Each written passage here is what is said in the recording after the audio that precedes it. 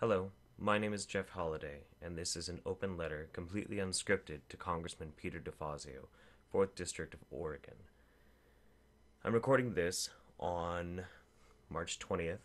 It's a cloudy afternoon in beautiful Oregon, and I would like to, in one take, attempt to change the mind of a United States Congressman.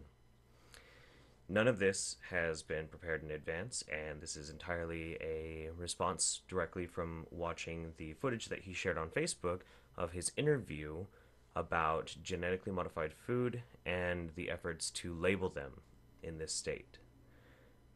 Congressman, I don't want to insult you. You've been in service, public service, since 1987, at least in the House and so I don't want to assume that you don't know what you're talking about. I think I know you know exactly what you're talking about, and that you are choosing to govern by means of popularity and to represent your constituents. And I can respect that to an extent because ultimately you are a representative of the people. However, when you accept a responsibility to try and lead people, to guide them in a way, you should be doing so with wisdom. To govern is not simply to echo the most loudest voice in the room. To govern means to lead. To govern means to to choose the the best course of action for the people that you have taken upon yourself to take care of. And in this way, I feel that you have grossly misstepped in the direction of genetically modified organisms. The reason I feel this way is not because I'm against labeling. I really don't have that big of a problem with labeling. However, the initiatives in Oregon to get labeling do not represent anything like the countries which you yourself actually tried to bring up as, as a talking point in your interview those labels are on the ingredient packages in those European countries. The ones that the, say, Measure 92 wanted were nothing like those labels at all. It will cost more than what you are claiming, and even if it didn't, a per a what two thirds, one third of a per, of a cent per day per shopper. There's a lot of people in Oregon. To say that that's not a lot of money is preposterous especially when you start to think about our crumbling infrastructure and our abominable, abominable education system.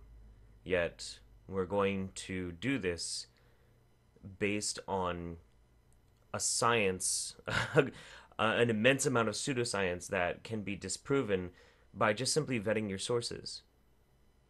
There is more Mr. DeFazio, of a scientific consensus on the safety of genetically modified food than there is on climate change. Yet you yourself have no problem actually stating that there is a scientific consensus for climate change, so we should fight for climate change. If for climate change, why not genetically modified organisms? My problem is not with that you want to label something, because you want to label something because it's popular. And I understand that. It's very sexy. I get it.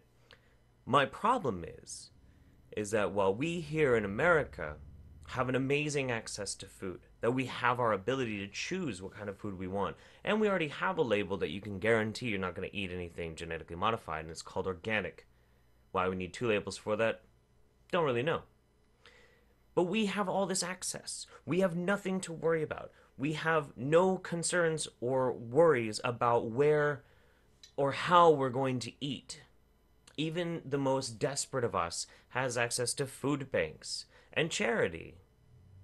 Yet, the same rhetoric that is being pushed and regurgitated by scientific pseudoscientific sources, celebrity health experts with no credentials whatsoever and no actual education.